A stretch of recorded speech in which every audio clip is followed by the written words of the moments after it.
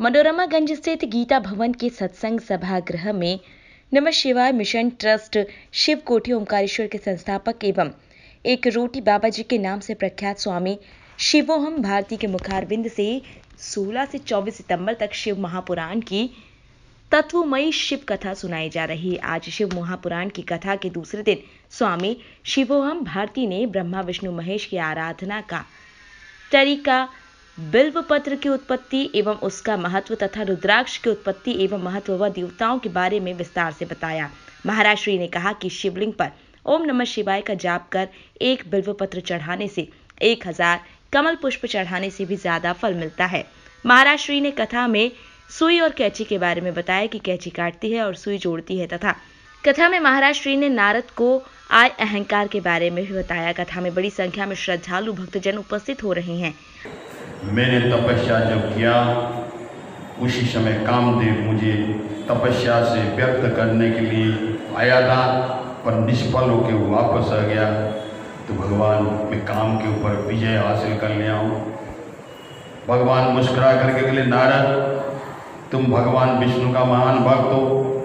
ये तुम्हारे लिए कौन सी बड़ी बात है? पर ऐसी चीज़ छिपा के रखा जाता है।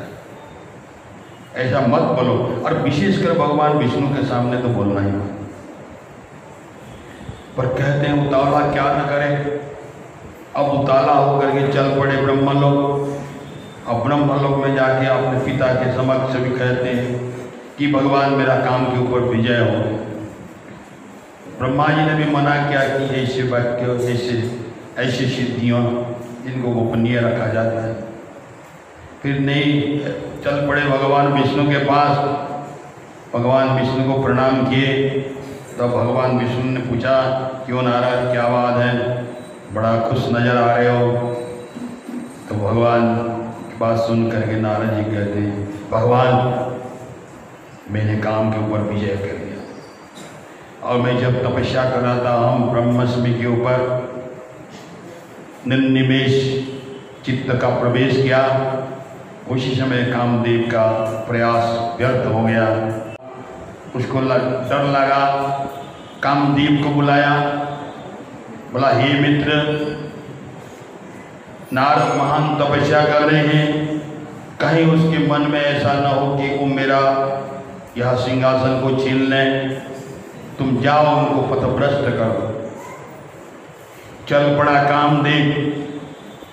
और संपूर्ण समग्र शक्ति और सामर्थ्य को विनियोग करके भी नारद के तपस्या को डगा नहीं सका, डिगा नहीं सका।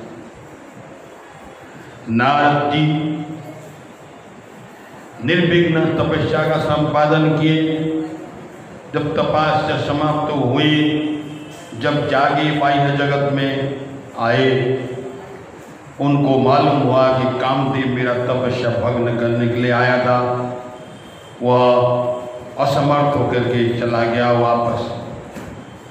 अहंकार का अंकुरोद्गम हुआ उनके मन में। चल पड़े ब्रह्मा जी के पास। सबसे पहले चल पड़े रुद्रदेव के पास। रुद्रदेव भगवान नारद जी के बड़े भाई लगते हैं, क्योंकि भगवान के पहले की आज्ञा के अनुसार, घोषणा के अनुसार भगवान शिव ने जब अवतार लिया ब्रह्मा जी की भ्रुकुटी से ही उनका जन्म हुआ था, अवतार हुआ था।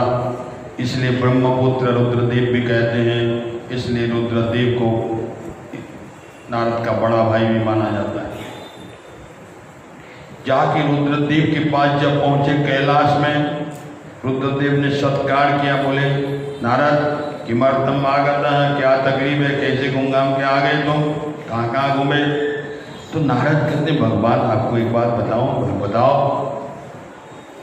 मेरा काम के ऊपर विजय हो चुका आयोजन समिति के प्रमुख महेश गुप्ता ने बताया कि कथा का समय प्रतिदिन दोपहर दो से शाम साढ़े छह बजे तक रहेगा।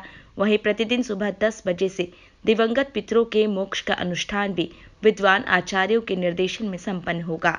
महेश गुप्ता, मांगीलाल झवर एवं मोहन मोदी ने बताया कि पितृपक्ष अनुष्ठान के लिए नारियल, बड़ी सुपारी, जनेऊ, जूड़ा तथा 250 ग्राम चावल लेकर एक सादे कागज़ पर दिवंगत पितरों के नाम, गोत्र एवं उनकी निर्वाण तिथि लिखकर गीता भवन में मोहन शर्मा से संपर्क कर सकते हैं।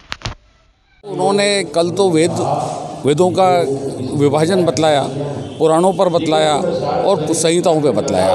आज जो ये प्रारंभ हुआ है तो आज उन्होंने ब्रह्मा, विष्णु जी, महेश जी, ये तीनों हैं, इनकी किस प्रकार से पूजा करना चाहिए और उनको याद करने से कैसे दुख दूर होते हैं, सुख प्राप्त होता है, अभी जो चल रहा है, वो उन्होंने बिल्व पत्र की महत्ता पूरी बतलाई है, बड़े विस्तार के साथ में। बिल्व पत्र किस प्रकार से उसका जन्म हुआ बिल्व पत्र को शिवजी पे कैसे चढ़ाया गया और उसके क्या फ़ायदे होते हैं? एक हज़ार कमल के पुष्पों से भी ज़्यादा लाभ मिलता है यदि एक बिल्व पत्र चढ़ाया जाता है शिवलिंग के ऊपर, ओम नमः शिवाय बोल के। अभी चल रहा है कि रुद्राक्ष की महिमा चल रही है। रुद्राक्ष कुल चौदह प्रकार के होते हैं। वो कौन कौन से चौदह प्रकार होते हैं? एक मुँह, दो मुँह, तीन मुँह, ऐसा। फिर इनका देवता कौन है? एक के देवता कार्तिकेय हैं, एक के शिव जी हैं, एक के पार्वती जी हैं इस प्रकार